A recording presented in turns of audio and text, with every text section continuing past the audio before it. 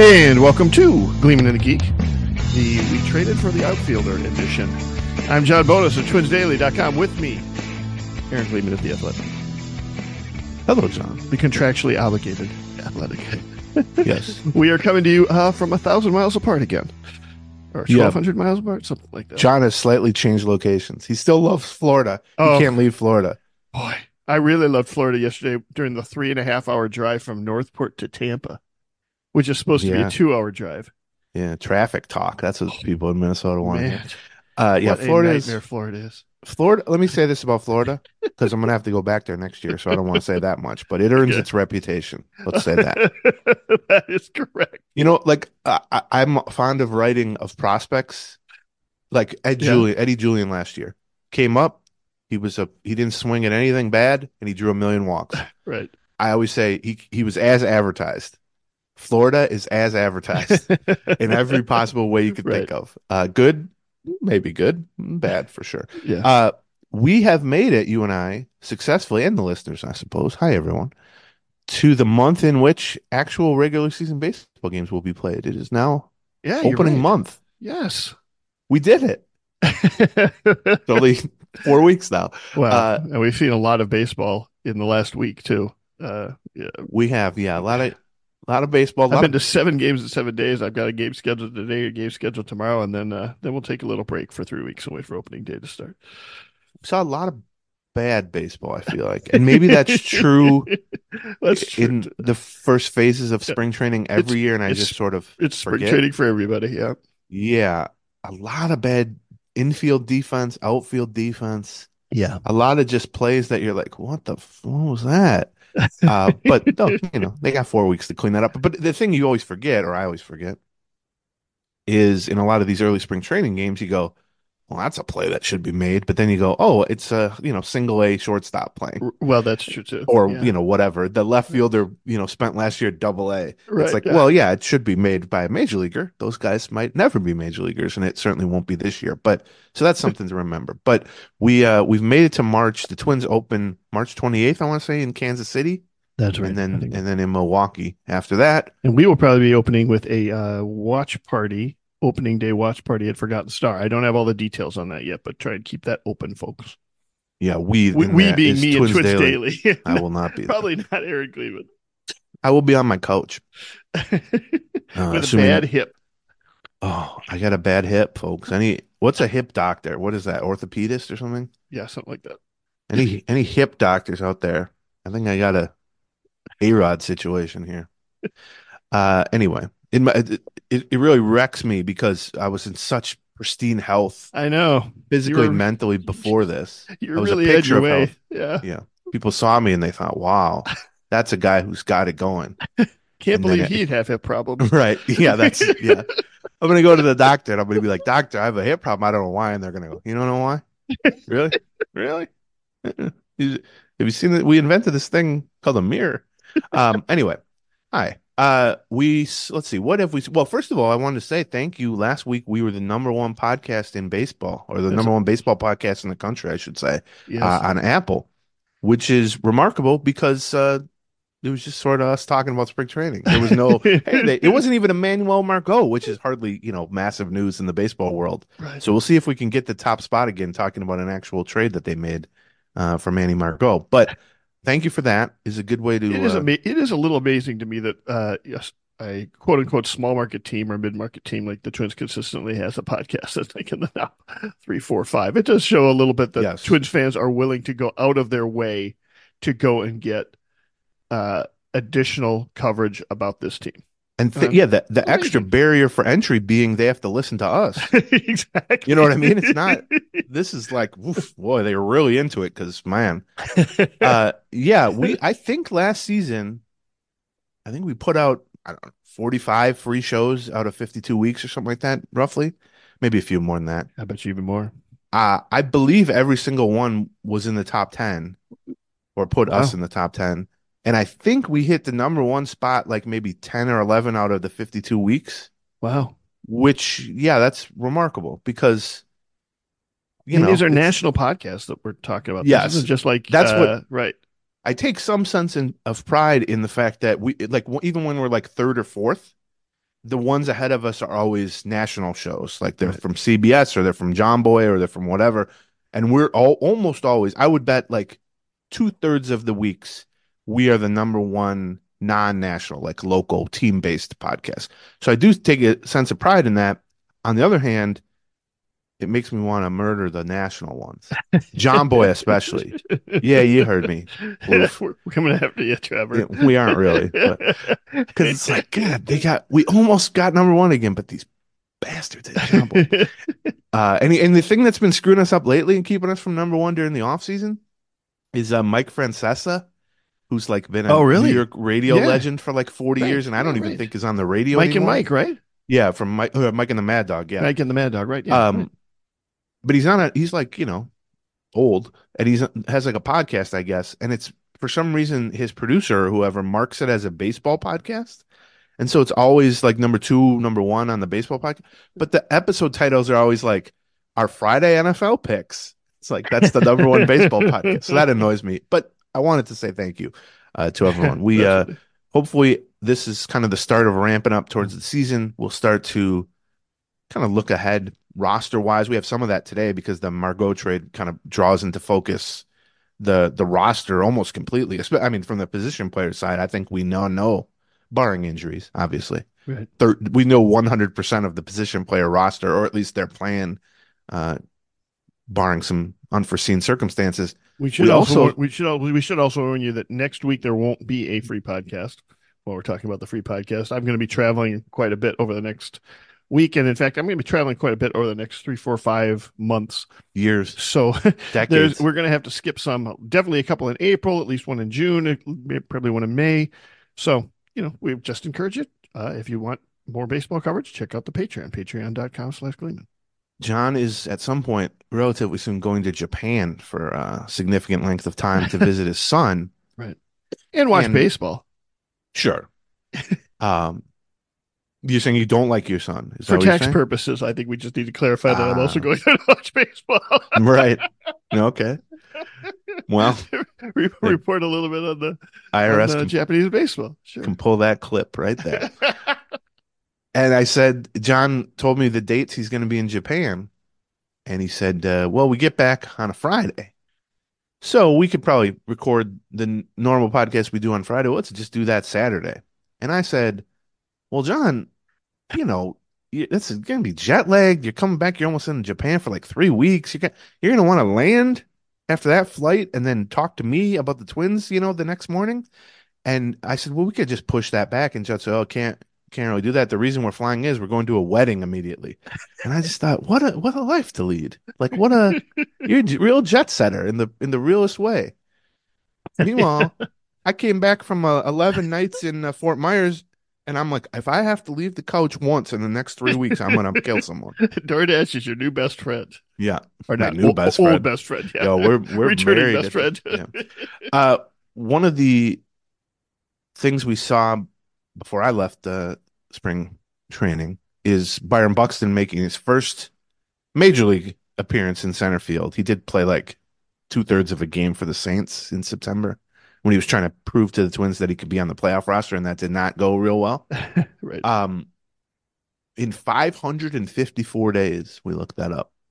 First uh, appearance in a Twins uniform in center field, and it went fine. Uh, no, you know, wasn't of not not much of note that really Right. happened. Yeah. Uh, a couple balls that he didn't really have a chance to get to that Right. he you know chased down after they landed and threw him back in. There was one kind of awkward play where he cut a ball off in the right center field gap and threw the ball in, and everybody in the press box and I'm sure uh, in the dugout was very much glued to him, uh, eyeballs Right, yes. trying to read his body language and reaction to that, but he seemed okay. And then when we talked to him after the game, he was again as upbeat, continuing sort of a spring long trend with him, I would say.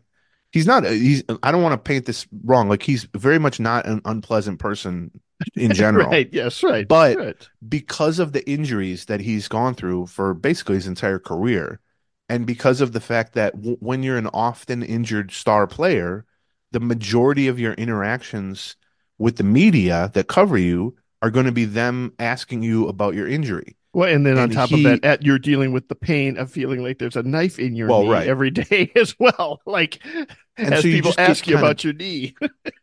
Exactly. and you just get kind of beaten down by it. And unfortunately, so many of our interactions with him over the last several years have just been us asking him a question about his knee or his hip. Um, and him basically just being tired of it. Like Yeah. I don't mean tired It of the questions, it- but I mean, it is what it is. Was his? Yes, or he would give me no over again. Right. comments a lot. Just Right, no yeah. comment. I don't I don't know. Uh and yet if you just casually talk to him, great guy, great personality, Yes, right. good sense of humor, beloved in that clubhouse, certainly. Right. And but you can see why. And so it's been nice. We talked about this a couple weeks ago when he first reported to camp and was so upbeat and was so optimistic. And I know everyone has a level of cynicism or skepticism, Sure. and that's that's warranted. I'm not trying to like push you away from that. But you know, now he's actually appearing in some games. He's he's hitting, he's running, he's throwing, he's catching. Uh he looks good. He certainly is moving in ways that he hasn't moved in a year and a half Right. just you know from the eye eyeballing it and he is not when- gutting his way through it. Anything. Right now Right. he is just. now we'll see playing like yeah. Right. how, how long that lasts but and you can see it in his face you can see it in his his mannerisms and you can certainly see it when we and hear it when we uh, gather around his locker and ask him questions because the, it's the same qu- type of questions it's how's your knee feel Right. questions Yeah. Right. right. but instead of trying to have to kind of uh, shield the real situation or just say i feel like crap or Right. i wish i could be out there right. he can say i feel great Instead of it being a sad answer, it's Right. a happy answer. Right. And so it's been great just from a we've talked about this before, but just from a human being standpoint. Uh he's done nothing to deserve a career that continuously gets derailed by significant injuries. Yeah. Um and do I think he's going to play 150 games this year in center field? No. Uh, I think it's going to be the same, right. you know, questions season long and career long at this point, which is how long can he stay healthy? How many days of rest does he need? And again, every time he dives for a ball or he uh, has to run full speed, even or has some Right. sort of awkward Slides into movement out in second center base. Right. Yeah. yeah, it's going to be oh no, here we go again, and that's that's not going away. I mean, he's reached the point now with a person's career as a player that's never going away. Like he could have five fully healthy seasons, Right. and in the sixth season, when he's you know thirty at the end of that contract, it would still be like, oh, let's see if Buxton can stay healthy. yeah. And so you're not past that point, and the a person's demeanor and all that only takes you so far, but it's matched up with the fact that Yeah. he just looks he looks spry. He looks I don't know, he's running well. I mean, we saw that early in camp. He they did like their little sprint drills, and he was so far ahead of everyone else. He did the Usain Bolt look behind as he Yeah, yeah, crossed the the finish line. So all, all off season we were kind of like hearing, "Hey, Buxton's looking a lot better. Buxton's looking a lot better," and there seemed to be some optimism around that, and you know questions about whether or not they what they were going to do in center field, and you know we were kind of wondering like, what are, what are they seeing that is making them so optimistic about Byron Buxton?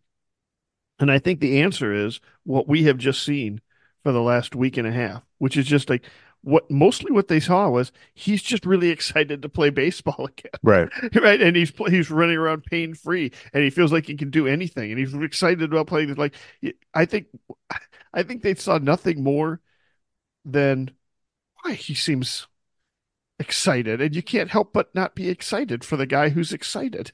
yes. know? Now on one hand, I agree. right, on one hand, if slash when he does have more health problems, that's Right. going to be like even more uh, Right. disheartening. absolutely, Uh, but yeah, I mean, uh, look, he's coming back from a knee surgery this year or last year at this time. He was also coming back come from back a from knee knee surgery. surgery, right? The difference is this was a different knee surgery. They removed the plica, which can be something that goes kind of undetected. It's like a a flap in the knee. Please don't take our word for this. Like look this up if you're interested. But my Ask understanding Lucas is Seehafer. He knows all about this stuff. ask literally anybody but a communications or a Right. you know journalism school dropout That's right. That's right. and whatever the hell John's got it. It's a, some kind of math degree. What is your actual degree? Just math? Math, yeah. Yeah. So he didn't know anything. John's not even that good at math, so I don't know how that works. Um, don't ask us. But it's a different surgery. It's a surgery that at least theoretically, if they were correct about the problem, will alleviate the problem. Whereas last year's Right. la- the last surgery that he entered spring training, it was immediately clear this hasn't done anything. Like this, he's as bad or worse. Now, Right. you know, we'll see. It's very, very early. We, like we said, there's a month before games start. Basically, he's, I think, to have a relatively light workload for a regular in spring training, but he will have a relatively heavy workload for Byron Buxton in spring Yeah. training, Right. which Yeah, is right. kind of balancing that. And that changes everything for the Twins. I mean, that's been their hope. That was their hope last year. Is we'll work him back slowly. We'll have him in the DH spot early on. By June, May, June, July, whatever, he'll start to go mostly to center field. And then there we go. Well, it just never happened. And so we saw Michael A. Taylor be the center fielder for basically the whole time. Michael A. Taylor departed as a free agent. You know, I think having another center fielder kind of in, insurance for Buxton was a priority this offseason, but I think the payroll situation, which again, self-imposed all that, but when you're cutting 30 mil off the payroll, you can't just go give Michael A. Taylor 12 million bucks or whatever he wants or wanted at least. And so that's why the right-handed hitting outfielder slash center field backup, which ends up being the same guy in Manny Margot, which we'll talk about here, dragged on for so long. Like, wh- Right. well, why couldn't you just re-sign Taylor, or why couldn't you sign Harrison Bader, or why couldn't you do Adam Duvall or Tommy Pham or whatever? Well, it took until now because I think the Twins felt like this is a role we need to fill. It's not necessarily a role we can fill with our number one target.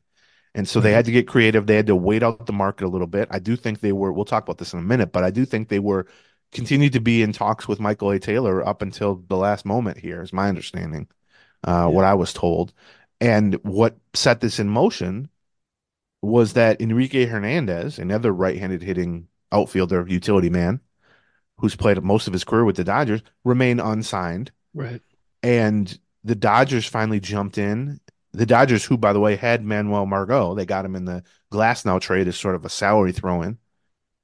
They said, All right, well, we'll give you four million to Enrique Hernandez. And Enrique Hernandez, at this late date, accepted it, although he spent the last 48 hours giving interviews about. Right. collusion happening and Right. free agency being a sham and all this stuff um, but he's back with the Dodgers, and w- that's then set in motion the Dodgers having an extra right-handed hitting center fielder slash outfielder Yeah. in Manuel Margot, and I don't think the Twins could have traded for uh, under with this monetary setup. The Twins could not have traded for Manuel Margot two months ago.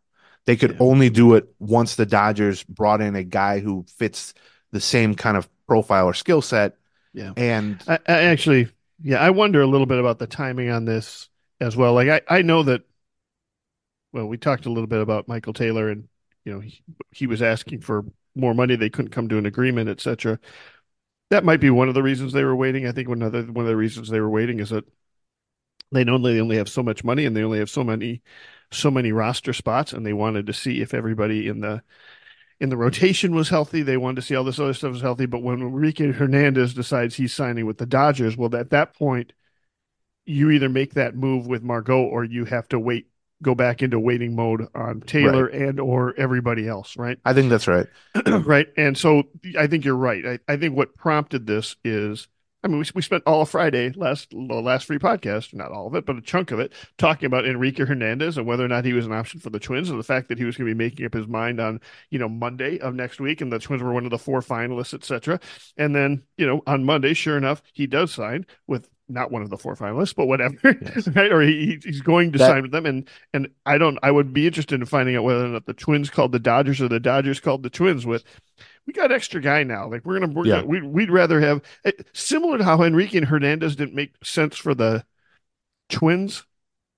No, no, I'm not gonna say didn't make sense, but was a less good fit for that last roster spot for the Twins uh, because they kind of needed an outfielder more than they needed an infielder. Yeah, they needed his value. He can play anywhere theoretically, and five years ago he legitimately could play Right, everywhere. But he's sure. like 33 now, and he hasn't been that In- good. in the- in First of the- all, he just hasn't been that good for a couple years now. Right. But and he's been injured. Right. He's not a guy you're going to really want to play at shortstop. He's not a guy you're going to really want to play regularly in center field. And so the Twins needed what whoever this final roster spot was. They needed it to be a right-handed bat. They needed it to hit left-handed pitching, which he does, and he can play the outfield. But ultimately, the reason they traded for Margot instead of trying to sign Duvall or Or- Pham or someone like that, or trade for They- a right cor- a Right. corner. Yeah, yeah. is they decided the center field aspect of that was as important or potentially more important than the just right-handed slugger corner bat Right, yeah. aspect of it. And Margot can fill both roles. He checks both boxes, you know, two birds, one roster spot, basically. But he's certainly a defense and speed and center field coverage is number one on that list. And, you know, being pretty good against left-handed pitching and being able to play left or right field, which he did quite a bit for the Rays. I mean, certainly. Um, and he's a really good defender there too, so that shouldn't be overlooked. Uh, yeah. that's a important, but it's secondary on the list. So before we talk about Manuel Man- Margot and the roster introduce you to Manny stuff. Margot. Let's talk a little bit about baseball is back. Baseball season is here, and that means your fantasy baseball team is back. And there is no better tool for fantasy baseball than RotoWire. And in fact, I mean, frankly, it's a great tool just if you like baseball. Like, Yes, we've both used it for years, just with baseball writing, because Yes. one of the beautiful parts about it is they have a database of injury news and just player news Right, going back decades. And so if you say to yourself, right. Hey, I'm writing about Byron Buxton. When was he hurt? Well, Yeah. when wasn't he hurt? But when was he hurt? And when did he go on the IL? And how Or- long was he or- out? Or like you're like, or like you're like me, and you're like, Manny Margot was who again? Now, It Right. One of You those can guys go back- Tampa, right? And you can kind of get a step by step, uh, Right.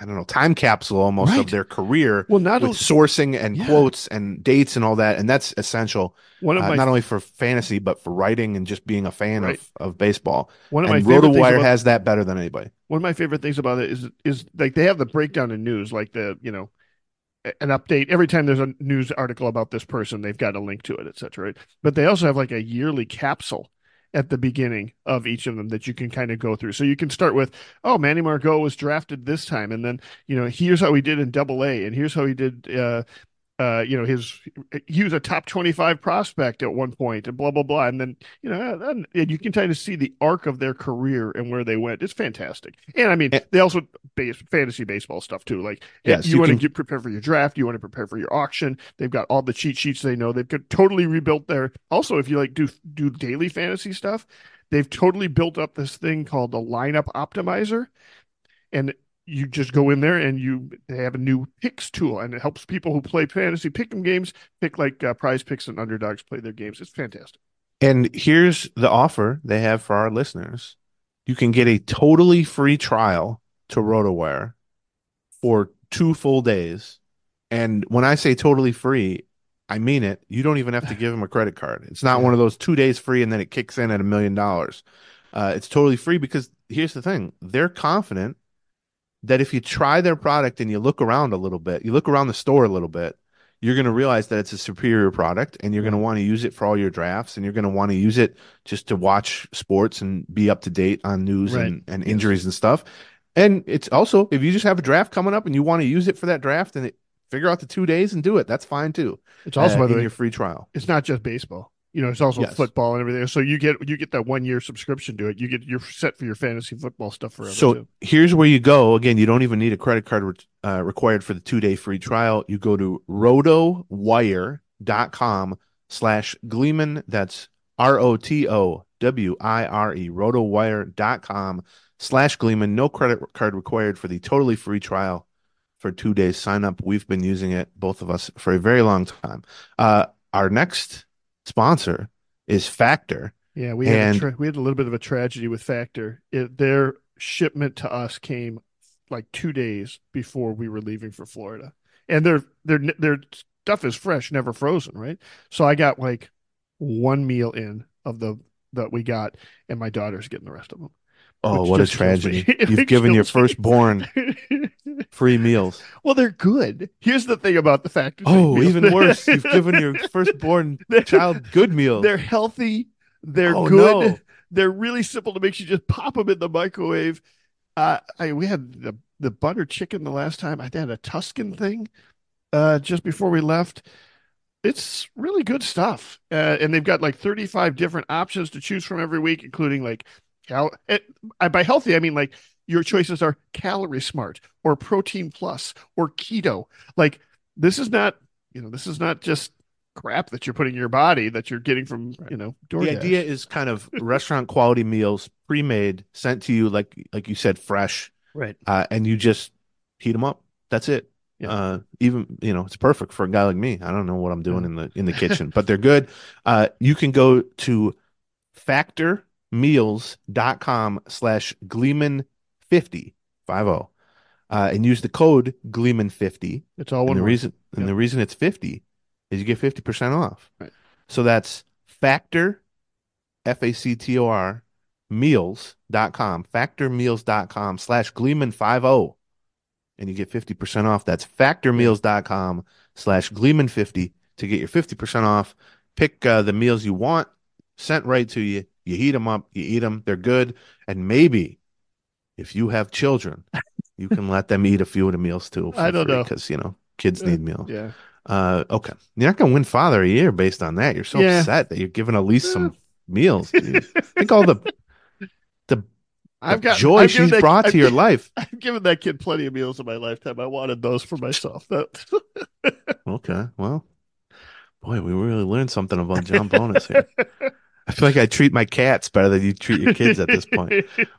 But uh, okay, so let's talk a little bit about Manuel. And here's the thing: I had heard, as I said on the last show, oh yeah, that he prefers the, not the last be- show, by the way, meaning patreon.com slash Gleeman, Yes. not the free one, where we broke this trade down immediately after it happened, the very next morning. So Yes, we went uh, really in depth on this trade and the roster and some of the, you know, behind the scenes stuff that we had learned. P-A-T-R-E-O-N, patreon.com slash Gleeman. Get that. The whole archive is free when you sign up. So we would love to have you join us. Perfect time to join as we ramp up for the season. You know, you, Oh. you're going to want to listen during the season. right, So you might as well sign up for the last few weeks of spring training. But I had heard that in Tampa Bay, he preferred not to be called Manny. And so I was like, okay, that's fine. We always try to learn that stuff. Sure, so like yeah. you don't walk up and go Manny and have him go, oh, F off or whatever. Uh so we go up to him whatever day he got here. Th- Here's the thing about it. Margot, he was scratched from the Right. Dodgers lineup. They were in in Arizona. They were playing the Rockies, I want to say, on the road. So it wasn't even a Dodgers home game. right, And he was in the lineup in center field that day for like a, you know, noon or a one o'clock game, West Coast time. He was scratched from the lineup and then traded to the Twins and immediately drove like an hour to the condo he'd been staying at, packed up all his stuff, hopped on a red eye flight, right. and got to Twin Spring training like basically two days before he would have needed to. Right.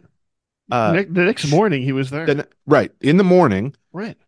it- walked in. They had him. We saw video of him coming in the parking lot. So then we talked to him the next day, the next morning, Right. when he was fully in uniform and going through workouts and all that stuff. Uh, and the very first thing, I forget who said it. We always say this when somebody new comes in. Do you, what do you prefer to be called? Uh, and he said, "Oh, I don't know, man. Manny's fine." And I thought, "Oh my god, fake news! You can't believe anything you read these days on Twitter or That's on. X." or listen to podcast. Well, that we know is certain, especially this podcast. Anyway, Manny Margot, Manuel Margot. Um, so here's a few of the details from the trade. Like we said, it it, all kind of was set in motion by Enrique Hernandez returning to the Dodgers, where he's won a World Series and played like I don't know six of the last eight seasons. Basically, he ended last season with the Dodgers after a little stint with the Red Sox that didn't go that well. Um, he gets a one year, four million dollar deal. The Dodgers basically choose him over Margot to fill that last bench spot, that right handed hitting, you know, versatile. Uh, in in in uh, Hernandez's case, he can play everywhere. In Margot's case, he can play the three outfield spots. But right. that then allows them to trade Margot to the Twins. The problem being he's got a $10 million salary for this season and an option for next season that has a $2 million buyout and a $12 million option. And we know the Twins don't have that kind of money because if they had that kind of money, Right, Michael A. yeah, Taylor right. would probably be their backup center fielder right now. Right.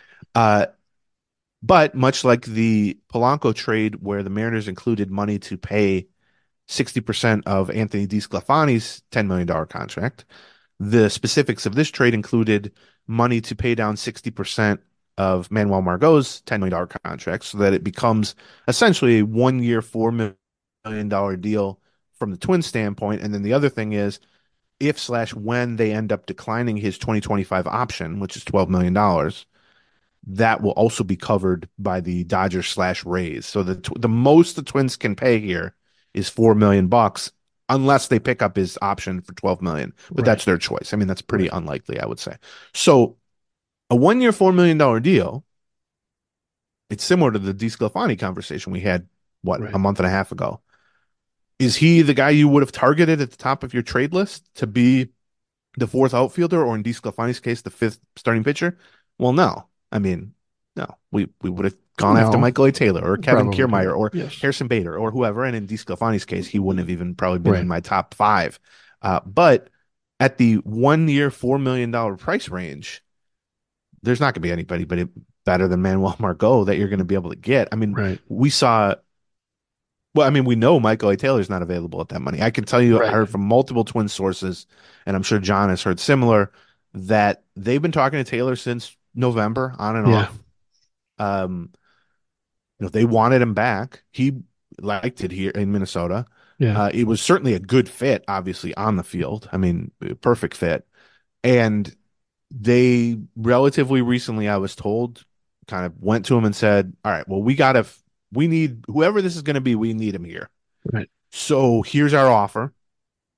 And I don't know how much better it was than the offer two months ago or worse or whatever. Uh, and he said no. And I think their feeling at that point was this isn't, we're, the bridge is too far to, Yeah. you know, it's, it's, Yeah. it's, the, the, we're too far apart here. So if you have to have, you want this guy in camp, whoever's going to fill this role, which is an important role because it's going to play, Right. even if Buxton is healthy, you know, for by his standards, this role's going to get 300, 400 at bats minimally. I mean, Right. I think.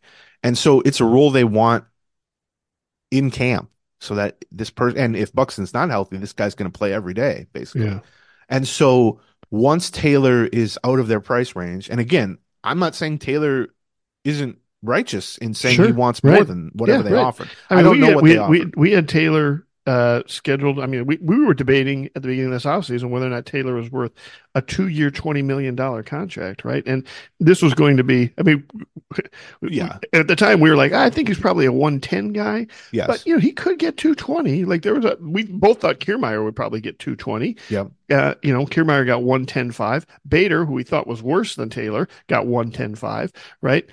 And so, you know, if you're Taylor, you either have to come to the recognition that you've overplayed the market or, you know, and, you know, sign for less at this point as you take a look at the realistic options that are out there. Now, maybe, you know, maybe Taylor was thinking, you know, I, you know, you're going to have this problem every year. You know, maybe we just sign me to a two year deal for, you know, $12 million or something He, like ain't getting a two year deal. Right. No, exactly. Right. I mean, I, I don't know exactly where it all broke down. I don't, I mean, I, I think that I have that same process with a lot of the free agents that are out there right now.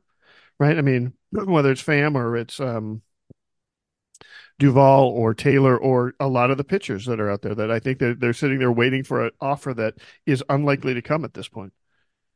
Well, yeah, I think I agree. And I think it's we got to be careful not to paint this as a criticism of the players necessarily, because I think the circumstances are pretty clear, especially for like the Blake Snells and the uh, Montgomerys and the Matt Chapmans, and even to some extent those guys that you just mentioned, the outfielders, because like a third of the league, basically, including the Twins, has either halted all spending Right. or reduced spending by a significant amount Yeah. and you do that, you know, across eight or ten teams. And we see with the Twins, they're dropping 30 million in payroll. Right. Not every team is doing that, obviously, but you start to do that across 10 teams, you're talking about hundreds of millions of dollars in sort of unspent money that normally would have been spent in a typical offseason. Well, you can kind of do the math on that. Like if Right. 10 teams kind of halted spending and half of those are like the Twins have dropped it by 20 million, you know, you throw like the Padres dropped it by like 50 or 70 million or something. Um, well, that's Right. Montgomery's money, Snell's money, and Chapman's money, Right. basically. Yeah. Right. you know, two, three hundred million dollars there. Yeah. Uh, and it, it then apply, you know, there's a trickle down effect or whatever that applies to guys like Taylor. And so I'm very curious to see what Taylor and Duvall and Pham and some of the other guys who are still available end up signing for. It may turn out that Taylor was justified at every level in not accepting whatever the Twins' Sure. last offer was because maybe he gets eight million a week from now. Right, In which yes. case, I can tell you the Twins were not going to give him eight million dollars. Mm. I think it's it's tricky to.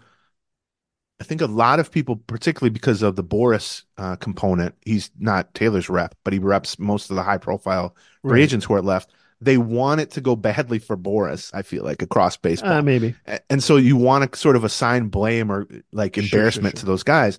And maybe that's the case. Maybe Cody Bellinger or whoever turned down some much bigger deal at some point and then had to settle and he feels bad about that. That's fine. But in Taylor's case, I, it's not, I don't know that he misread the market. I mean, first of all, we got to see what he ends up signing for. Maybe he Right. just yeah, true. Yep. needs to wait it out. But like, yeah, he's worth 10 million if Kiermaier and Bader are getting 10 million, or he's worth 8 million at least in that case. Yeah, you're right. And I think what you have to factor in in this specific situation with the Twins and Michael A. Taylor or Pham or Duvall or whoever, they just didn't have that much money. And it, like, them not having $8 million to give to Michael A. Taylor, them choosing not to have $8 million I was about to, to give say, to yeah, right. Okay. fair. They got that much money, believe me. Right. Yes. But you know what I mean. yes. It's not a mark against Michael A. Taylor. Right. No, you I know, agree. like if the Twins had a better TV situation or an ownership group that was willing to just invest in the team and not, you know, Right. have to do profits and losses the way they're doing, they'd have given Michael A. Taylor eight million bucks or ten million bucks three months ago, and we wouldn't be having this conversation. And so it's not Michael A. Taylor's fault that the Twins are in a position where they're having to look to their second.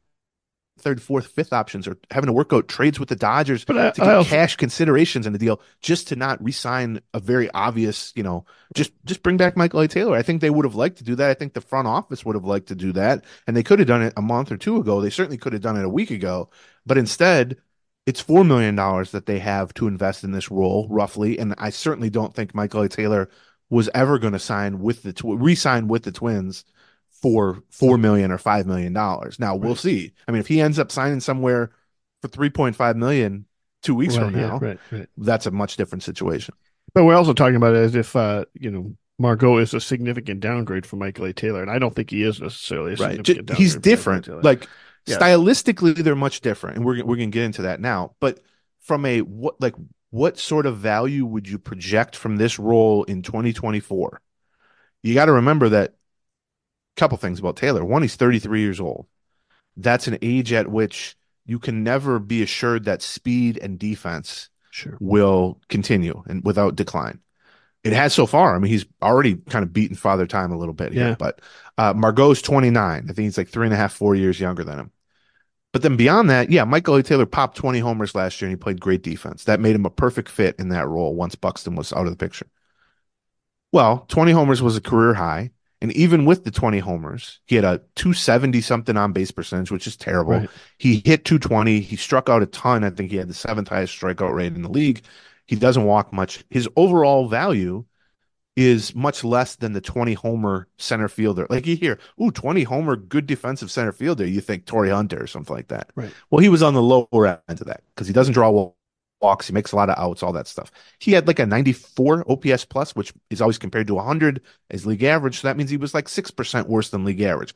Well, Manuel Margot, well, he doesn't have nearly that much power. I mean, he might not hit 20 homers in three seasons. Right.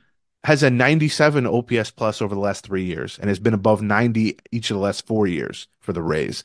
Michael A. Taylor was above 90 once in the last six years, and it was last season, and it was barely above 90. And so I think defensively, Michael A. Taylor was much better than Margot last season, uh, in part because Manuel Margot had some injuries last season.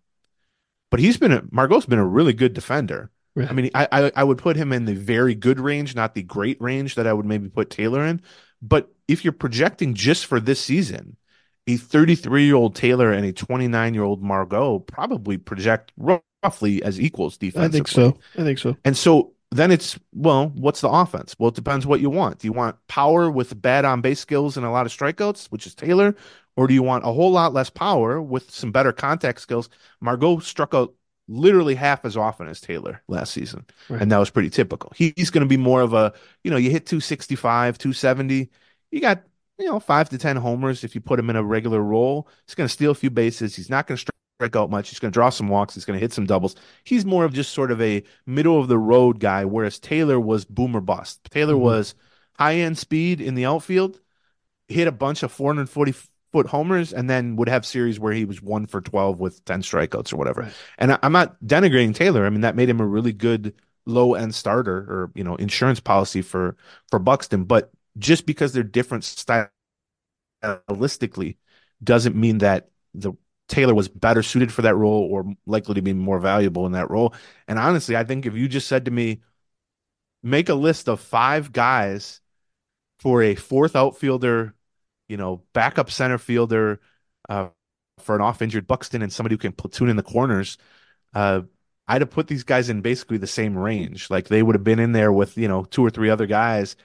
And if you can get one of them for four million and the other one has turned down your offers Yeah. for who knows what, at some point you just have to do that. It's unfortunate that the payroll situation has made it so that the Twins haven't been able to make their sort of first choice moves this offseason. Mhm. But that doesn't mean that their second or third choice or create creative moves won't work out well or or even better. So I think that's kind of the situation with Taylor or Margot. But again, I want to see what Taylor actually signs for. Yeah, I do too. I, do I mean, too. if he signs for two million, then yeah, he Well, I also wanted. I, I'm, also excited just to see what Margot's game looks like. You know, Taylor did do a lot of other little things, whether it was bunting or just. I mean, For he sure. seemed to play. He played. He played the game in a lot of smart ways beyond the numbers that he put up. agreed. And I, and I mean, in in the way that you would hope a veteran would do, and he did it right. Um, but you know, he he also like I. He had back problems, which you'd expect a 33 year old baseball player to be having. You know, there were times that he wasn't available. I'm sure Margot has got to overcome some of the injury issues he had. We should mention he had, you know, a couple of different. I think it was a would last year was the lower leg injuries, or was two years ago were the lower Bones- leg injuries? Bone Spurs was last Bones- year. Or okay, um, bone spurs was last year, right? Yeah, the, yeah elbow bone Yes. spurs. And He says he's- mention- fully Right. healthy for whatever that's worth. yeah, and uh, the Twins were asked, or Derek Falvey was asked in our press conference with him, you know, how do you know how healthy he is? Get- Has he gotten past the injury problems he had last year? And one of the answers was, well, he's been working out with Willi Castro, and he's been working out with uh, Carlos Santana, and yeah, we had plenty of reports on him prior to exploring this trade with the Dodgers. So, And by the way, he's been playing in games with the Dodgers. Right, yeah, well, that's true too. He was right. if this trade would have happened three hours later, he'd have played in center field for the Dodgers Right. that day, That's or an hour later even. yeah. Uh, so let's talk a little bit more about Margot.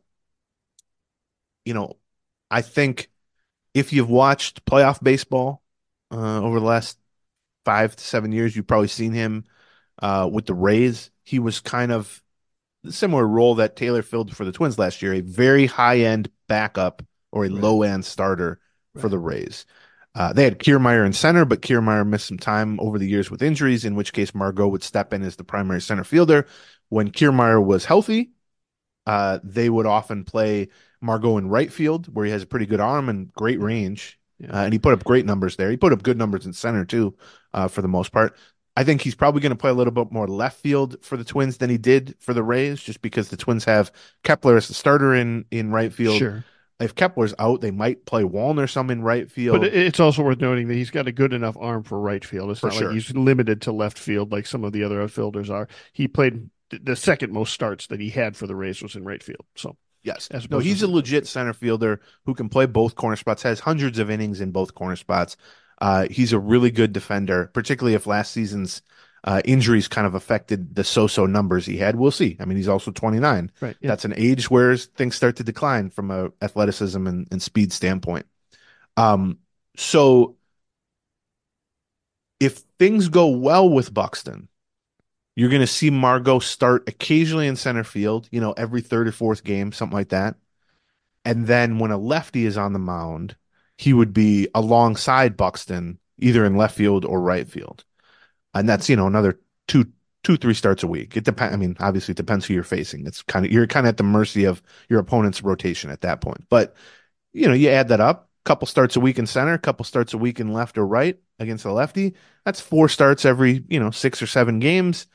That's, you know, 400 at bats, something like that. I think that's what they would envision for him. That's what they envisioned for Michael Taylor Right, last year, by the way. right, And yeah. then Buxton was so out of the picture in center Right. that Taylor just played 100, and, I don't know, 110 games in center. And he, ne- I don't think he ever played a corner spot for the Twins, right? I mean, why would he have? yeah, I know. Uh, because Buxton was never in center. So right, yeah, that's right. that's the it's the same role filled by the same type of player but much different stylistically and you know, you look at Margot's numbers against lefties, pretty good. Not great.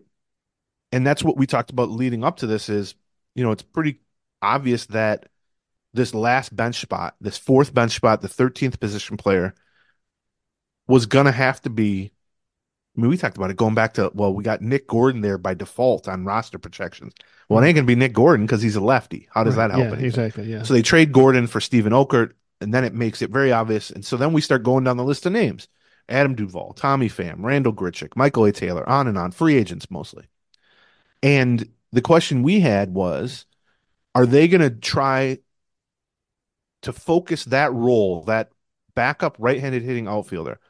Are they going to place more emphasis on the bat and go for like a Duvall who's got 30 homer type of power or Tommy Pham who's been like a 800 OPS type of guy for a lot of a lot of good teams or are they going to place more emphasis on the Buxton insurance backup center field, you know, can be a legit defensive center fielder aspect in which case, well, it would have to be Michael A. Taylor if it's a free agent. Right. There were no other free agents. It turns out they placed more of an emphasis I think on center field Yeah. which leads them to Margot in trade. And he does check the box of he definitely checks the center field box. I mean, I would say he's certainly one of the 30 best center fielders in Major League Baseball. Like if you Oh, just right. distributed all players and you started at, in center field and you distribute them to new teams in order of how good they are, he's going to get distributed like 25th out of center field or something like that. Um, which is kind of similar to Taylor. If you don't want him starting 150 games in center field, but if you need that, he can he can be a decent starting caliber guy. Then the question is, well, how how much of a downgrade from the bigger, like the true big bat left field, right field guys is he? And I mean, I was thinking he's certainly a worse hitter than Tommy Pham or Duvall or Grichuk Sure. or whoever it is. But if you're starting him really only against lefties in that role, Right. he's got pretty consistently. He's hit like 280, 290 against lefties. He draws some walks, so his on base percentage is like 340, 350. The power is not there. I mean, Adam Duvall could hit more homers in a month facing lefties than Margot would hit in a season. Um, but you also got to remind, remember that he's got good speed and he plays great defense in a corner yeah, spot. Yeah. He's certainly going to be a better defender than those guys. And I just think ultimately the Twins kind of decided yes, it would be great to have the biggest possible bat to stick in the lineup against lefties. And if we were building kind of a fantasy baseball team, that's what we would go for. Except the moment Buxton is not available in center field, and that's almost surely going to happen at some Right. point, then it's like, well, who's playing center field? Well, Willi Castro. I don't think they Right. want to play Willi. We've talked about this all offseason. Yeah. Willi Castro's a lot of things.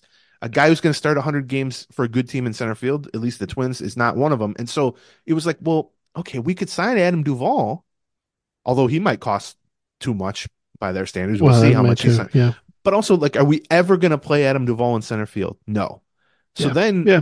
To have Adam Duvall's bigger bat in left field requires playing Willi Castro in center field. So you've downgraded defensively Yeah. there. And so I think they felt like Margot was kind of the best blend of the two. And I, I agree with that, but I also think the money was a factor. Yeah. I mean, they might have, uh, they might have, uh, you know, sacrificed a little bit of ceiling for a little bit of floor. You know, they they are they're covering their risk in terms of the center field situation. Right. Yeah, like you said, and and, and for that they might be sacrificing a slightly better bat in right field or right or left field or corner outfield things.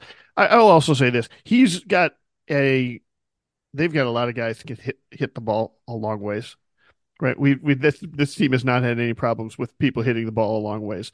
Uh, it's interesting that they were like, well, you know what? Let's bring in a speed and speed and defense guy, especially a guy that gets on base versus right-handed right-handed people, and see what see Left-handed what people. I'm sorry, versus left-handed people, and see see what happens there. I, I mean, Rocco actually talked openly uh, the day before. He was not talking about Margot, but he was talking about Austin Martin. He was asked about Austin Martin by one of the beat reporters, and basically said, "Listen, if you're trying to design a guy that's a really good fit for our roster." You know who's a really good fit for our roster? A guy who can play center field. He can get himself on base. He can run around. He can create a lot of things. He can create some situations when he's on the base paths, and he can he bats right-handed. Like that's that's the kind of player that we need on this that that's we have left on this roster to try and do.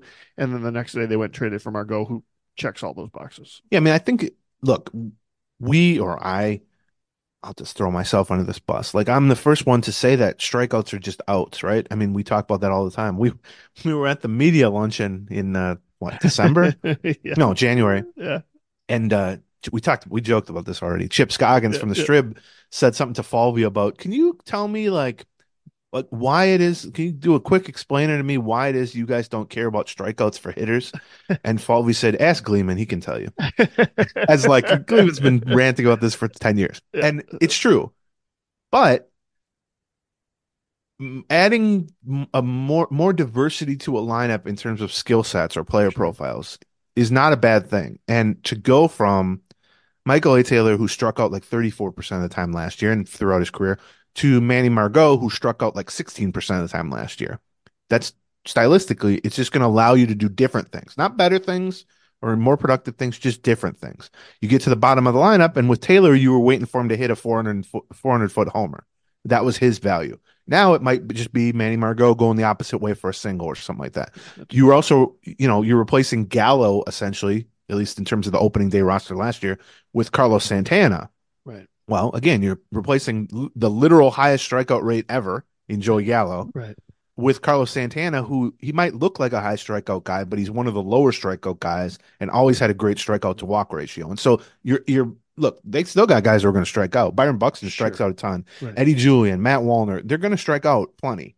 But to take two of your higher strikeout rate guys from last year in Gallo and Taylor and replace them with two guys who have been throughout their careers known for bat to ball skills and, and controlling the strike zone and all that stuff, it's it it adds different dimensions to a lineup. Not better or worse, but different. And so I think that's part of it too.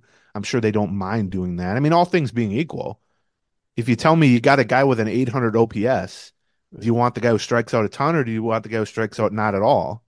Well, I'll, I'll take the low strikeout guy, all all things being equal. So that's part of it. I think you know he's not an 850 OPS, you know, masher Sure. against lefties.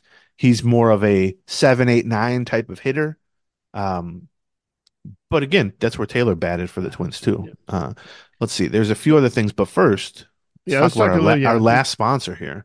Uh, BetterHelp, BetterHelp.com. You've uh, we've talked a lot about the challenges you can have when you are seeking therapy, and that's one of the reasons why we enjoy or recommend BetterHelp is because it gets you past all of the obstacles that happen after you get past the biggest obstacle, which is just saying to yourself, "Hey, I need to talk to somebody," or "We need to talk to somebody." Right? Uh, you know, you, you can come to that realization, and that's a great big step forward. But then you're faced with all the little steps like who who am- like how do I get a recommendation? Uh, what when do we meet? How do we meet? What uh, what happens if they're full up? How much is it going to cost? Well, BetterHelp helps with all of that stuff. Yes, and they can set it up if you want to do a video chat, you do a video chat. If you don't want to be on camera, you do a phone call. If you don't want to be on the phone, I hate being on the phone. You can just do a live chat. They'll they'll tailor it to whatever you're comfortable with, because that's the whole goal. And if you go to betterhelp.com slash Gleeman, you can get 10% off your first month. That's betterhelp, H-E-L-P, h e l p betterhelp.com slash Gleeman. And uh, yeah, whatever you've been thinking about talking to someone about, this is a good opportunity uh, to try it without some of the barriers for entry That's right. uh, that you typically might face. Betterhelp.com slash Gleeman. Okay. Um, let's see. On Margot, he seemed uh he seems very well liked, I will say. Like his reputation, he's played for a lot of winning teams uh with the Rays. And he's been a high end role player because the Rays are filled with high end role players. That's sort of their thing yeah, yeah, right. Yeah. their th- I mean, honestly, their thing is sort of how do you get Michael Taylor production from a guy who isn't Michael Taylor? That's Right, kind of yeah. what the Rays do. How do we fill a 20 homer role with a guy whose overall contributions can be similar to that, but who doesn't pop off the page with 20 homers and is thus cheaper and easier to acquire because that's all the Rays do. It also surprises me a little bit that they signed him to the contract. it, was a weird contract because they don't have any money, right, um, right, and they almost immediately were looking to trade him. right. Yeah, I don't I don't really know. Uh it's it's strange. Uh the yeah, his contract itself is is just odd, but it I guess played to the Twins' benefit. It's a one year four million dollar deal for the Twins, which if they had just signed Manuel Margot a month ago for one year four million dollars, we would have said, Oh, great value signing, fills the role. Right. et cetera, et cetera. Well, you don't see Uh, a lot. Of, you don't see Rays make a lot of trades where they include money, and and they uh, they were the ones who included money when they traded him to the Dodgers. So. True, although Although they they, also- shed like 25 Right. mil with Glass now. Glass but yes, they did include a little bit of money, 4 million or something like that. Uh, and like we said at the beginning, this basically locks in the hitter half or the position player Yeah. half of the roster. I mean, look, injuries can happen. Obviously, Buxton especially is something to watch in terms of his availability. But it's one of those. If the season started today, I feel very confident that we could tell you 13 out of 13 position players, Yeah. uh, and we can we can run through them if you want. But it's going to be your starting lineup. Uh, well, assuming you're facing a righty on opening day, which I don't know, they have a lefty in the rotation for Kansas City. But let's just play along here and say they're facing a righty on March 28th in Kansas City. You're going to have Jeffers behind the plate. You're going to probably have Carlos Santana at first base, Eddie Julien at second base, Carlos Correa at short, Royce Lewis at third, Matty Wallner in left, Byron Buxton, uh, knock on wood, Byron Buxton in center, Max Kepler in right, and then I would guess Alex Kirilloff at DH. That's going to be your starting nine. Right. That leaves four spots on the bench because you're going to have 13 position players on a 26 man roster. Well, one of them's the backup catcher, so that's Vazquez. One of them is the backup shortstop, and that's Kyle Farmer. Yeah. And he's also probably going to platoon with Ed Julien at second base. Uh, one of them is Willi Castro, who until a week ago was their backup center fielder, which Right. I know they didn't feel the most confident about. And then the other one is Manuel Margot. Right. And because Manuel Margot can cover all three outfield spots very well, that frees up Willi Castro to fill more of the role that he thrived in last season, which is a true bounce around utility guy. Not, oh, I'm playing center field for the next three weeks. It's I'm playing third base today and left field tomorrow and center field the next day and on and on. And he can pinch run, he can pinch hit, he can be a right handed bat. He's a switch hitter Yeah. in left field or right field. They could trot out, let's say, a lineup against lefties that has Castro in left, Buxton in center, Margot in right, and that would be phenomenal defensively and pretty good offensively against lefties. So that's what they could go for.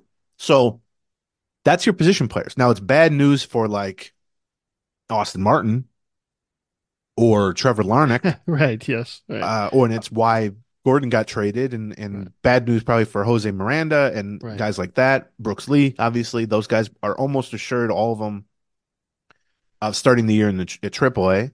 But that's what the Twins wanted. I mean, we saw that last yeah. offseason. I mean, they want it- the first line of defense from a depth standpoint to be veterans. Well, and it also helps if they've got, you know, they've got uh, some sort of injury that they deal with. They, you know, they don't want, they don't want, they don't want one of their prospects playing every other day in the majors. Uh, at you know, if if everybody's healthy, right? This way, if somebody gets injured for a while, well, then great, we call up the prospect to play for two weeks. You know, while they're on the while they're on the IL, right? If it's just sort of like ah, you know, Max Kepler's uh, banged up a little bit. He's got a sore toe for three days. Uh, well, now now you've got the bench depth to be able to handle that with a with a veteran replacement. Yeah, I mean, it's not that Brooks Lee couldn't do the job of Kyle Farmer or that Austin Martin couldn't do the job of Manuel Margot. They could potentially. Right. It's less certain as rookies, but they could potentially. It's that, yeah, to your point, Margot and Farmer are very comfortable with and are being well compensated for their ability to play well in a 300 at bat role or a 400 at bat role. Well, you don't want to put a 24 year old prospect in that role. You want them playing every day. So that's kind of how I would differentiate it.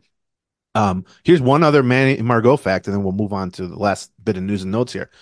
Do you know for whom he was traded uh, from San Diego? He was initially signed by Boston uh, as a teenager internationally. Okay. Traded to San Diego in the Craig Kimbrel trade many, many moons ago. Then played three years, I think, for San Diego as you know part timer, pretty solid player.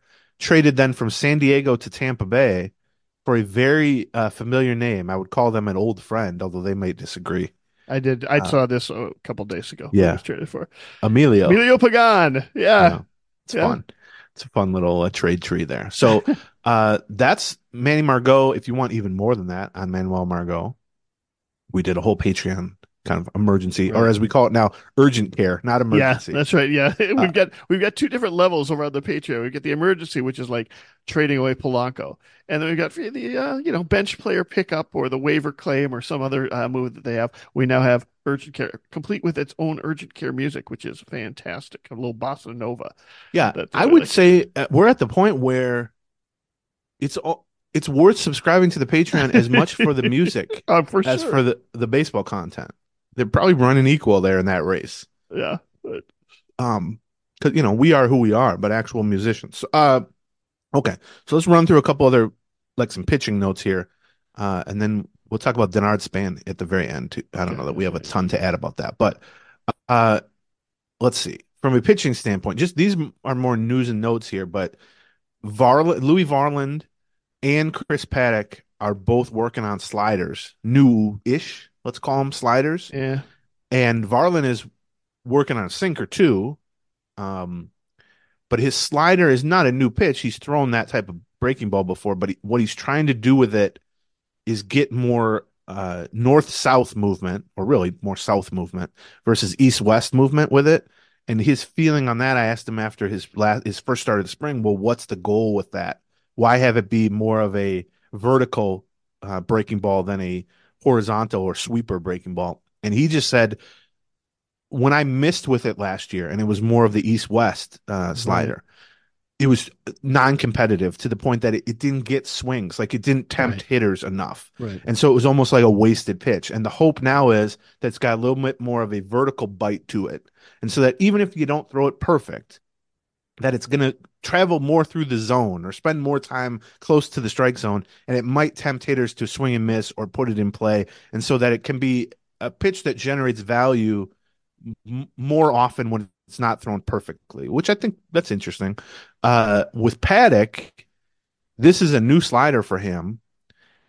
And it's intended basically to balance against his slow curve that he's thrown for much of his career, which is much more of like a 70 something mile an hour kind of old school. I don't want to say Blyleven's because it's not that good, but it's what you think about like when you were in high school and somebody threw a curveball. It was more of a big breaking slow thing. Now he wants more of like a sharp slider that can play more off the fastball and trick the eye a little bit. And then you toss in the the changeup, which has always been his best pitch. And the goal basically is, well, he's back to starting now, and he Right, needs as many right. weapons that he can turn to uh, as he can. So th- I think that's interesting. I think, think- it's Oh, go ahead. it's not always noteworthy when a pitcher is working on a new pitch. That's what happens, and the Twins especially love that. I mean, their their coaches, Pete Maki, and all their other pitching coaches, they're constantly tinkering. They're constantly looking at pitch mixes. You know, is this pitch? Can we ditch this pitch and bring in a new pitch like they did with Pablo Lopez to huge success last year? Or is there something about this pitch that you know you have great spin rate on it, but you're throwing it too high in the zone, or you're it's you're looking too vertical instead of horizontal? Like, can we take one good aspect of this and tweak it so that it can more maximize the strength and minimize the weakness? And so, you know, every spring you're gonna have guys showing up to camp, and it's like, oh, I'm working on this new pitch, I'm working on that. I would love someone to track that, and at the end of the year, go here were the 62 pitchers who said they were working on right. pitches. Yeah. That's what, You know, yeah.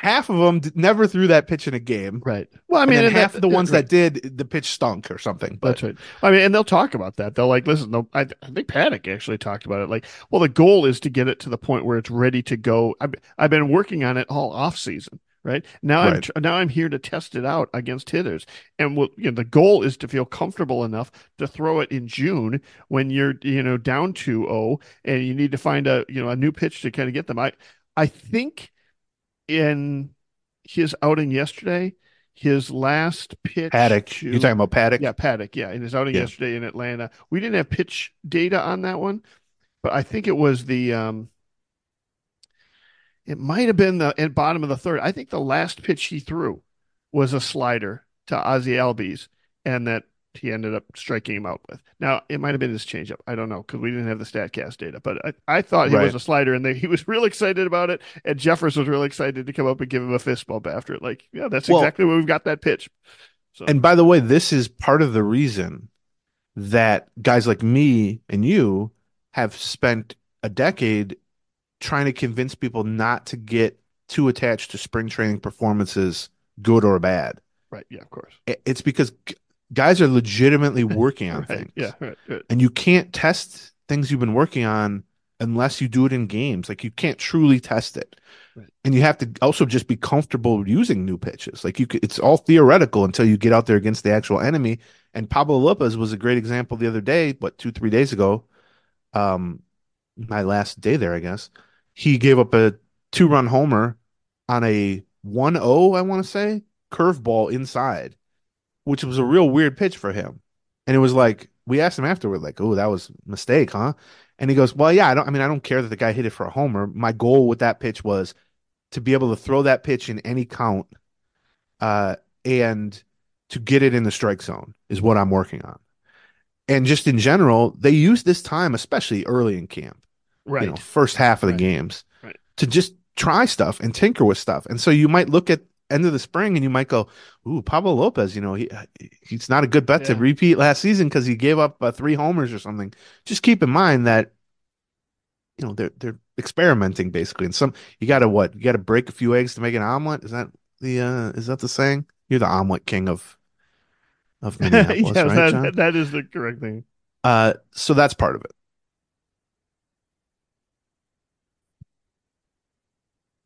Okay. Also on the pitching front, you may have noticed uh, Anthony DeSclafani has not pitched yet this spring, and we noticed that also. Uh, sore elbow, elbow soreness is the official diagnosis there. Uh, he's behind in camp now. That doesn't mean he's going to get ready in time for opening day. But the the word from Nick Paparesta this morning sounds like from uh, Twins camp again, where neither of us are there, but um, that the hope is still that he'll be ready for opening day. But that explains why he hasn't pitched yet. Caleb Thielbar also hasn't pitched yet in a game because of a hamstring soreness. Okay. Uh, but the hope obviously is he'll be ready for opening day too. DeSclafani is interesting because you know elbow soreness. He's had a long history of arm problems. right. I mean, that's why he's on the Twins because he was available. And so that's worrisome because he's your fifth starter. He was supposed to be the depth. Yep. And if the depth is injured, then you're back to the drawing board. Now they have Louis Varland, and that's a damn good six starter. I mean, that's one of the best six starters of any team in baseball. And I personally might even bet on Louis Varland outperforming uh, Anthony DeSclafani this year if you gave them both Sure. 150 innings or something. Yeah. The goal was to have both of them, to have Right. DeSclafani again as your first line of defense, Louis Varland as your second line of defense. So the question over the next several weeks will be, or next two weeks, let's say, can he advance to pitching in games, DeSclafani, to the point that he can start to throw two, three, four innings, and you can at least map out a situation where he can throw four or five innings, you know, the first week of the season, although they may not need a fifth starter the first time through the rotation. He could theoretically begin the year on the IL. They could use an extra reliever during that time, and then you bump him because they're going to have two off days. Yeah, they do. You're going to have an off day after the first game of the season, and then you're also going to have an off day after your first home game. Yeah, they've got three off days in their first eight games, or eight eight days, or nine days of the Right. season. So they've got the the they they play on Thursday. Then uh, Friday's always an off day because in case they opening day, right? Right. Then they've only got a two game series versus Milwaukee. So they have them they have that Friday, that Monday, and then the following Friday off. Right. And so then the first time they have a long stretch of games is starting April 6th, where they have, let's see, whew, 12 games in a row. So yeah, Right. they're gonna be they're gonna need a fifth starter at least twice during that uh Right. that So- obviously, like I said, the hope is that he's going to start throwing off a mound here within the next, you know, early next week. He'll still, I mean, if that's the case and it's just elbow soreness that they're past, he will have time to build up to four or five innings by the by opening day. But if he needs an extra five or ten days, they have the ability to kind of wait that out. If it proves to be more than that, well, then it gets tricky because the entire right. point of bringing him in was to kind of avoid that situation. You can again turn to Louis Varland; that's not a problem at all. Um, but if he if it were to be a more serious elbow problem, if he were to start throwing in the next several days and it's still barking and they got to shut him down, well, then I, I would think you have to start looking to the free agent market, which Yeah. you actually hinted at on the last Patreon. You were talking more about like a minor league deal. Yeah, what I heard is that they were looking they, they were interested in finding free agent pitchers who are still out there that are that were were willing to sign a minor league deal. And I mean, most of the starting pitchers that are out there, the names that you would recognize, even some of the names that you might recognize, like Jake Odorizzi, you know, somebody people who are coming back from either a tough year or something like that. Uh, you know, they want a major league contract. They're not willing to sign a minor league contract until there are no major league contracts, right? And the Twins need that. Well, presuming DeSclafani was healthy, the Twins needed a pitcher willing to accept a minor league deal because they signed somebody to a major league deal, they just end up bumping DeSclafani off of the roster, uh, basically, or one of the other pitchers off of the roster. The only guys who, of the five pitchers that the Twins were projected to have in their starting rotation, who have options left are Ober and Ryan, and neither of them are you- you're going to send down, right? Right. So it's you- not as simple as just saying, why don't they sign another starter and keep him and DeSclafani? Because Right. then you're down a bullpen spot. Yeah. One of those guys is working relief at that point, which you don't really want. or a So, yeah. six man rotation or something Right, goofy like that. Like you're, that you're screwing around with a lot of stuff there. What you want is a veteran that you know you can have for some depth that you can mm-hmm. stash in St. Paul for a while and then call them up when you need them. And they can't even have like an opt out at the end of March if they don't make the roster because you're not planning on them making the roster. Well, that's all assuming DeSclafani is healthy. Right. If he's Right. hurt, Well, then, then, those same names are still in the mix. right. But then you've opened up the possibility of a guy just jumping right onto the major league roster. In which case, you know, if Odorizzi or something wasn't keen on a minor league deal, Right. he maybe could be keen on a major league deal. Although here's what I'll say about Jake Odorizzi. Super good guy, had a good year for the Twins, not such a good second year for the tw- or third year for the Twins. Uh I don't know that I would count on him No. joining camp in midstream and being ready for opening day or opening week necessarily. That's the problem that you're running into. I mean, these Yeah. guys, I will say pitchers in general keep themselves much more ready throughout the offseason than 20 years ago or 10 years Yeah, ago. you But really only need to get them up to 45 or 60 pitches at this point. Right. You know, like, it depends what these guys, we don't know what these guys have been doing behind Right. the scenes. But you start to get into, I mean, like you have Montgomery and Snell at the top Right. of the market, still Right. unsigned. After that, you start to get into like Michael Lorenzen, who's a pretty good starter. I would might even say better than DeSclafani or better bet. sure. But he's kind of like the Michael Taylor of pitchers. He might still be waiting for a ten million dollar deal or something. I think he like might that. be waiting for a multi-year deal. Right. Honest with you, right? Uh, Yeah. you start to get Mike Clevinger, uh, similar market. I don't really see them bringing him in for a personality standpoint, but whatever. Um, then you go a level below that is probably what I would envision them yeah. shopping in because we just talked about they may have gotten Margot because he cost a few million bucks less than Eight. Hmm. someone Eight. else. Well, that means they don't really have much money for a pitcher. And so you might have to be given a pitcher like a one year, two million, three million dollar deal. Well, then you're getting into like old friend Rich Hill, who's Right. 200 years old, which I personally would love to see. One, he pitched pretty well last year, even he, he was 43, but two, he's the only guy who's older than me still who could be in the majors. so I want to see that. Uh, you know, Zack Greinke, who's also older than me, I think they could sign him. He didn't seem to have much left last season. Right. Uh, Noah Syndergaard, who a few years ago everyone wanted, but has been kind of terrible since coming back from injury. You got you get into like the Dallas Keuchels of the world. I mean, we saw what he had Yeah. left. Right. Yeah. And then one name that you had mentioned was Vince Velasquez, who's been Yeah. sort of a well-traveled, off-injured righty. Was with the Phillies. Was with, I mean, he's been with a bunch of teams. Um, th- that's kind of the group you're looking at. That's not what you want. But if the goal is just sort of buy more time, push Varland back to AAA, push some other guys down on the depth chart, and just have a somewhat competent veteran make you know six to ten starts or something in the first half of the season, and so you can reevaluate. Well, that was what they were hoping DeSclafani would do, and it's still Right. possible he can do that. But it wouldn't surprise me if they start they're starting to you know kick the Yeah. tires on some of those models. Yeah, I right wonder now. the same thing. I wonder if they if they've got if they uh, get to the point where they're like, yeah, we're worried about DeSclafani, rather than just immediately turn to Varland. If they still bump Varland down and sign, you know, look for somebody who's willing that they have some faith in, and that they is willing to sign a one year, three million dollar major league Right. contract, something like that. Where, yeah, which. I mean, I mean, got you can mixed- get I've got- really I've- Hill for that. I mean, I've got mixed feelings on that in a lot of ways. One of the ways I have a mixed feeling on that is this team tends to stick with veterans beyond when they should. Even if they stink, even if they sign for $3 million, they don't walk away from that uh, because they care that much about the depth. So, you know, if the guy just doesn't pitch well, like doesn't, isn't terrible, doesn't get hurt, you know, but, you know, consistently gives you, you know, four innings of, you know, th- three run ball, something like that you're like, ah, they might just keep trotting him out there. It's like, ah, I don't Yeah, well, I mean, we saw that with Keuchel last year in the second half, right? And Right. actually, the point at which I think right, we were, and probably most uh, onlookers were ready to get rid of him, which is after he got knocked around for like seven runs was it in Pittsburgh or something? Right, yeah, I right. forget the team. Right. The Twins stuck with him. Yeah. And Right. it paid off in Yeah, the sense that Yeah, he was right. pretty damn good for the next several starts. Yeah, he had like half his starts were, were really good, and the other half Right. were terrible. Right. Yeah. Right. And so that's sort of what you're talking about. I mean, another option would be if DeSclafani has to begin the year on the IL, either with a serious injury or he's just, you know, needs three more weeks or whatever.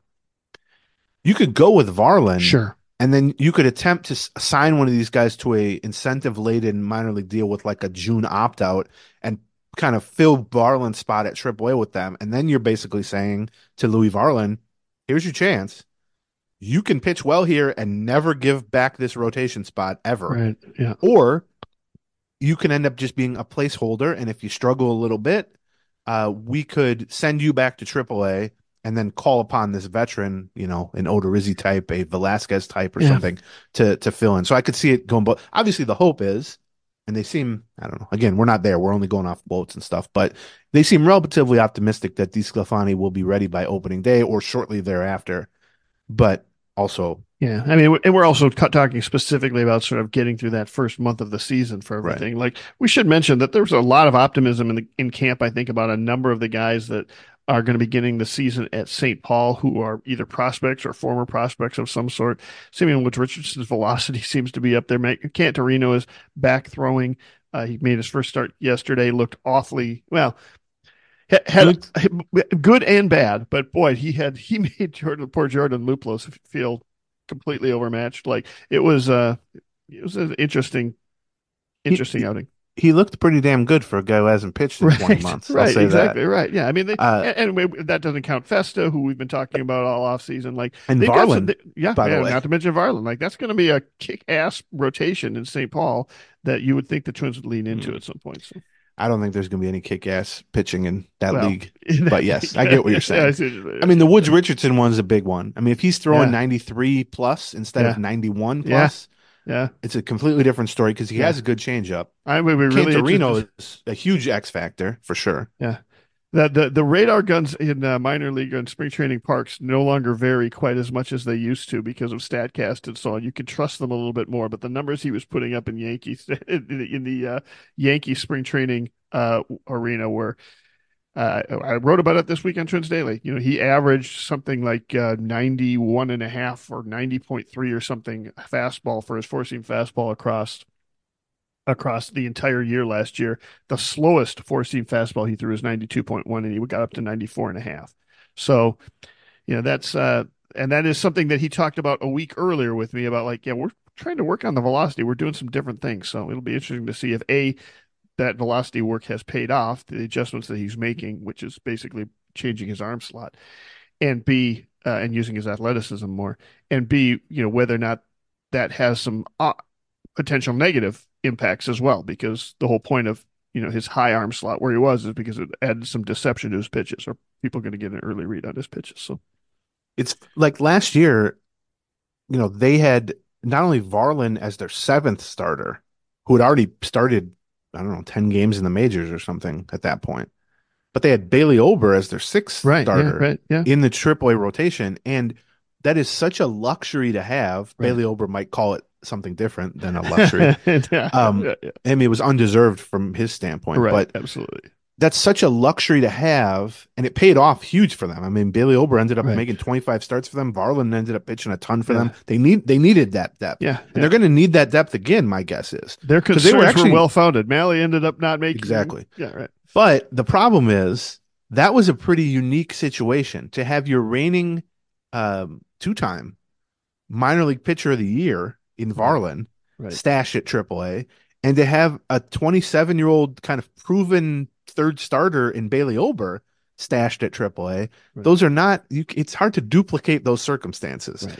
and so now it seems like, oh man, they just don't have as much depth. Well, they still have Varland. right. Uh, yeah, right. They just don't have Bailey Ober. Well, yeah, that doesn't come along very often. It's very difficult to have an established major leaguer, uh, you know, mid rotation starter, three something ERA type of guy, and go, yeah, we're going to send you to AAA. That's just not a circumstance that plays out. So yes, you know the uh, Simeon Woods Richardson and David Festa and Brent Headrick and maybe Matt Canterino and those type of guys. Well, yeah, they're much, much, much less proven right. than Bailey Ober, but anyone is as Right, AAA yes. depth is going to be less Right. proven than Bailey Ober because Bailey Ober had no business being at AAA, Yeah. and so I think that's that's worth remembering. Most teams are in this spot unless they've signed a veteran to a minor league deal like you've talked about. Right. And there's only so many of those to go around. You're just going to be relying on minor leaguers. You're going to be relying on prospects to be kind of the next next man up from a rotation standpoint. Let's just finish real quick and then we'll be done. Uh, the Twins announced that Denard Span, who had been doing some Tampa Bay Rays stuff, I think pre and post game, and maybe some radio for them, I don't remember, uh, is joining the rotating group of television analysts, uh, as well as pre and post game uh, desk stuff. Uh, he joins now Justin Morneau, who remains the primary analyst. I think he's scheduled to do like half the games, which might even be a little more than last season. Uh, Glenn Perkins, Trevor Plouffe, Roy Smalley, and LaTroy Hawkins. They're all now working, of course, with new play-by-play man Cory Provus, who's taking Right. over for Dick Bremer. Uh, Denard Span was definitely when he was a Twins player, super well liked, um, a good talker, uh, good player too, Sure. Yeah. good great beard, just tremendous. Sure, Now he's yeah. got a little salt and pepper Yeah. in it. It looks a little. It's interesting. I'm going for that look too. We don't We we were actually- He was one of the guys we were uh, look targeting for our uh, winter meltdown to be Yes. uh, behind the scenes view. Uh, we we found out that he had to leave town before the actual event. So other than that, uh, that's why we lost him. So Yes, Yeah, he was going to be a guest, and, right. he had to leave town. That happened a couple times uh, this year. So I think it's a good addition. I think it's the changing of the guard on the TV front is basically complete now. Yeah. I mean, you have Provus, who's replacing Bremer, who did the job for 40 years. But then you also just think about where they were, I don't know, five years ago or eight years ago, whenever it was, to go from Blyleven for the vast majority of the games and Right. what the vibe and the content was then to now have this rotating group of other than Smalley, they're all from the, you know, 2000s era right, yeah, right. or even two, 2010s era, honestly. right. Uh, and Smalley is the one holdover, but I would say, just generally speaking, Smalley is a little bit uh, more open to new school stuff than the average, for you know, 60 something year old. Um, and so, yeah, I mean, I, I think the mix of new school thoughts and recently retired, which is always key to me. You want guys telling stories about players they played with who are still playing. Changes a lot when Right. it's guy telling a story from 40 years ago. Uh, and you know, just we know some of these guys behind the scenes. Plouffe's been on the podcast. Perkins has been on the podcast twice. Hawkins has been on the podcast. Yeah. We tried to get Span on the podcast. I don't know why Morneau hasn't been on the podcast yet. He, We got to work on that. I, I have bad news He's too busy with his kids. but he's going to be on the podcast soon. Uh, I think it's a really good mix, and I also just in general, setting aside who the primary person is, um, I like the idea of keeping it fresh with a rotating cast and crew. Now, there's a fine line there. You don't want to just have guys coming in for two games and they're not ready to do it, and they're just sort of randomly talking.